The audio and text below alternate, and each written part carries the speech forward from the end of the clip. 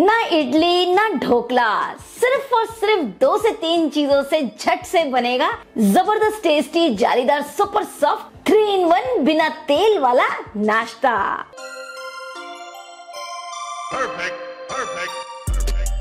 बच्चों के lunch box के लिए टिफ़िन के लिए, नाश्ते के लिए या फिर बारिश के मौसम को एंजॉय करने के लिए। रोज सोचना पड़ता है कि ऐसा क्या खास बनाए जो झट से बन जाए। तेल बिल्कुल ना के बराबर, मज़ा आ जाएगा बना करके। ऐसी रेसिपी आपको लिए लेकर आई हूँ कि जिसमें आपको तीन तीन स्वाद आने वाले हैं कि मतलब जिसके बाद आप इडली, ढोकला, वड़ा, इन्हें छोड़ इसी को बनाएँगे। हेलो फ्रेंड्स मैं हूँ पारुल कुक विद पारुल में आपका बहुत बहुत स्वागत है। यूनिक स्टाइल का पोहा सूजी नाश्ता बनाने के लिए यहाँ पर मैंने लिया है एक कप पोहा।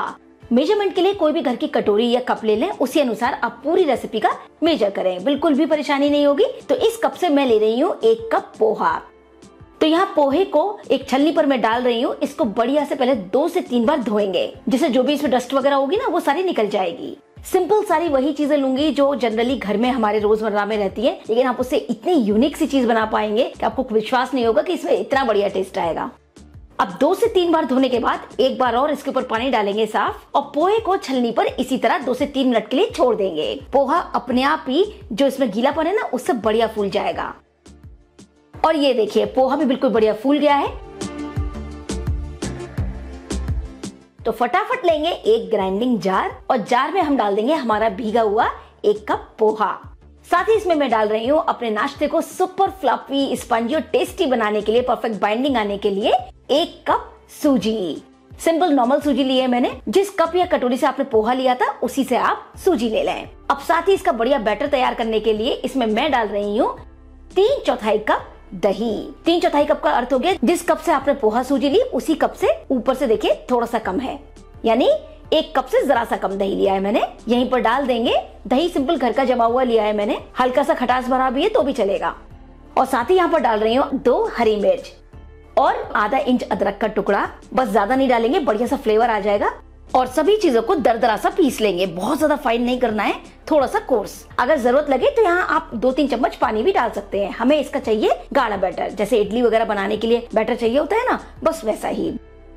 ये लीजिए, मैंने सभी चीज़ों को बिल्कुल बढ़िया से पीस लिया और आप देख सकते हैं, एकदम परफेक्ट कंसिस्टेंसी का हमारा घोल तैयार हुआ है। बिल्कुल समय नहीं लगाए फटाफट वाला काम है।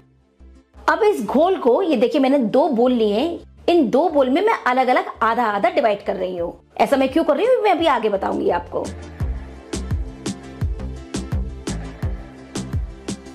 अब एक घोल को रख देंगे अलग और इस एक घोल में मैं हम डालेंगे स्वाद अनुसार नमक।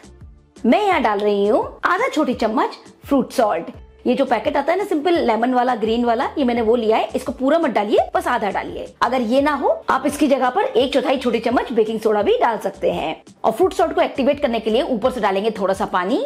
अब जेंटली करेंगे फ्रूट सॉल्ट को मिक्स बहुत तेज़ी से नहीं, धीरे से। इससे आप देखेंगे कि जो हमारा बैटर है, वो एकदम वॉल्यूमाइज हो जाएगा। फूला फूला आपको दिख रहा होगा ना? परफेक्ट अब यहाँ पर मैंने ली है एक स्टील की थाली। प्लेट में थोड़ा सा ऑयल डालकर बढ़िया से ग्रीस कर लेंगे।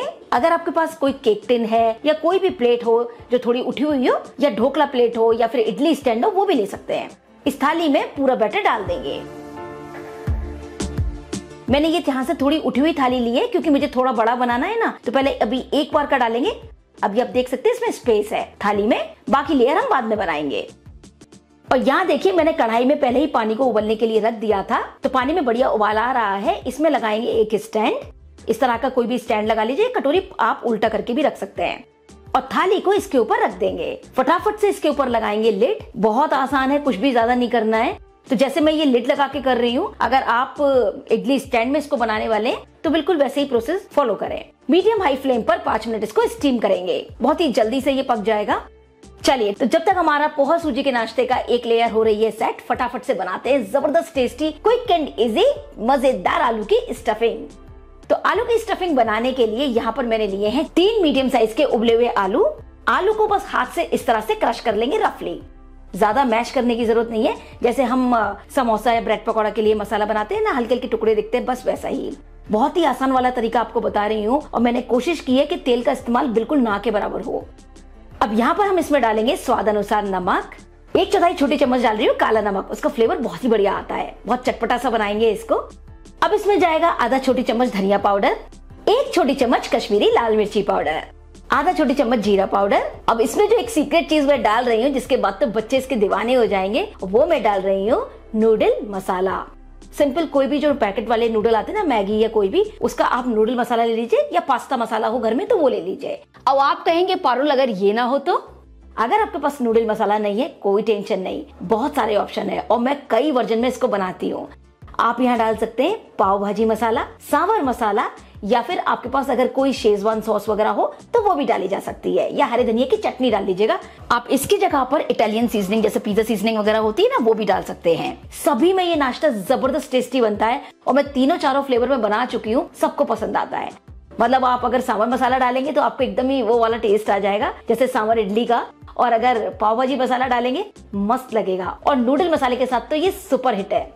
साथ ही इसको और भी मज़ेदार बनाने के लिए मैं इसमें डाल रही हूँ एक छोटी चम्मच चिली फ्लेक्स। बिल्कुल ऑप्शनल है, हो तो ज़रूर डालिएगा। और यहीं पर थोड़ी सी मैं डाल रही हूँ, ये बहुत ही बारीक कटी हुई शिमला मिर्च। क्रंची क्रंची बढ़िया लगती है। आज की इस रेसिपी में मैंने कोशिश की है कि आपको प्याज, लहसुन और टमाटर तीनों चीज़ बिल्कुल न डालनी पड़े।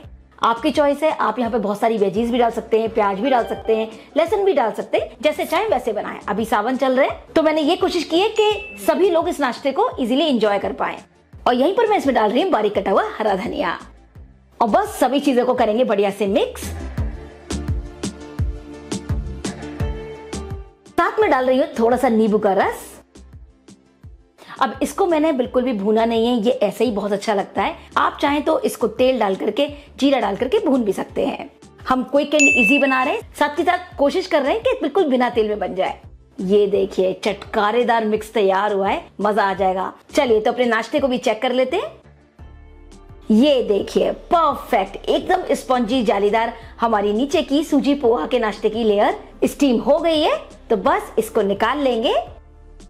और बस अब इस ऊपर वाली लेयर पर मैं इसको और भी ज़्यादा चटकारेदार बनाने के लिए लगा रही हूँ। हरी वाली चटनी, आप चाहें तो टोमेटो केचप लगा सकते हैं या कोई भी दूसरी Schezwan sauce red chilli sauce जो सुविधा हो, वो यहाँ यूज़ कर लीजिए। सब बढ़िया लगती है इसमें। तो हरी चटनी को भी इसी तरह से स्प्रेड कर देंगे। और इसके ऊपर ये जो भी आलू वाला मिक्स तैयार किया ना, ये पूरी लेयर हम लगा देंगे। बिल्कुल इस तरह से, सब तरफ़ से इसको कवर कर देंगे, पतली लेयर यकीन मानिए, जब आप इस तरह बनाएँगे तो घर के बच्चे हों या बड़े, सबको पसंद आने वाली है, ये ऐसी रेसिपी है।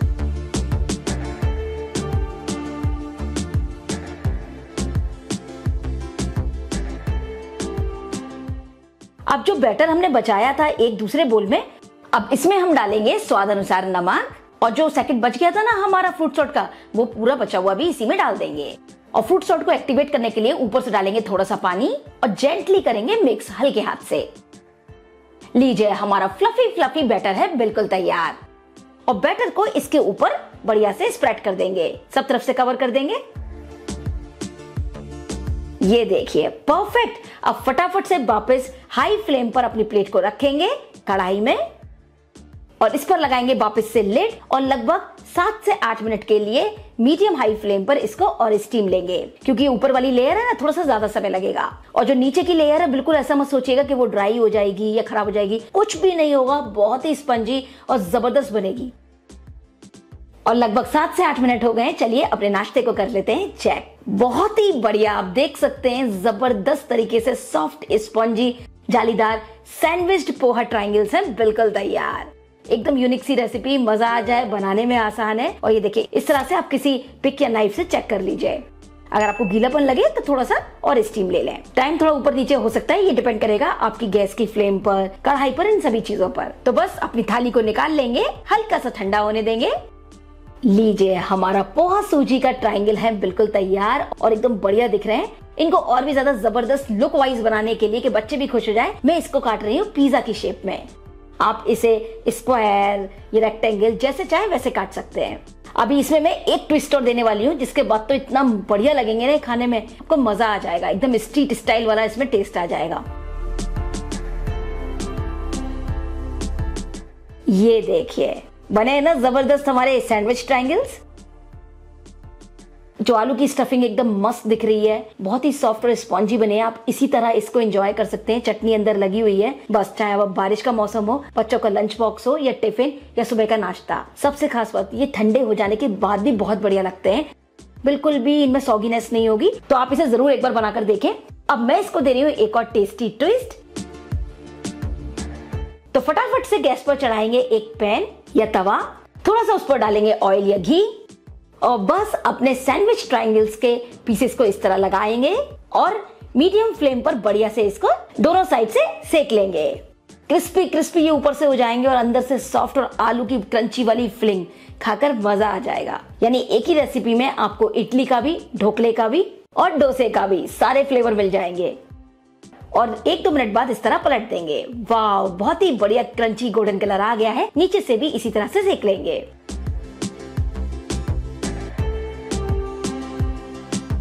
ये देखिए, दोनों साइड से बिल्कुल परफेक्ट हमारे पोहा सैंडविच ट्रायंगल सिक गए हैं और देखिए इनका लुक कितना बढ़िया आया है। बनाते बनाते वक्त ही सब ऐसे चट कर जाएँगे, इतना अच्छा नाश्ता ही बनता है। जैसे कि आप देख सकते हैं ऑयल आपने देखा, बिल्कुल नाम मात्र का।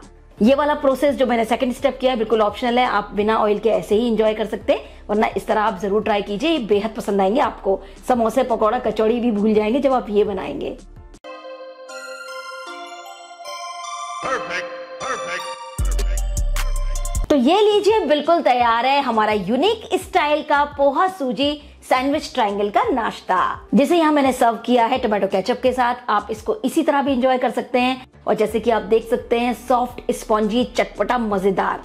तो अब जैसे चाहे वैसे बनाइए। चाहे बिना सेके बनाए, चाहे स्टीम लेकर। बहुत ही बढ़िया बनेंगे ये और आपको बहुत पसंद आएँगे। तो अगर आपको वीडियो अच्छा लगा हो फ्रेंड्स रेसिपी पसंद आई हो तो प्लीज़ प्लीज़ प्लीज़ वीडियो को लाइक शेयर और आपके अपने चैनल कुक विद पारुल को सब्सक्राइब करना बिल्कुल ना भूलें। Thank you for watching cook with Parul जय हिंद, जय भारत।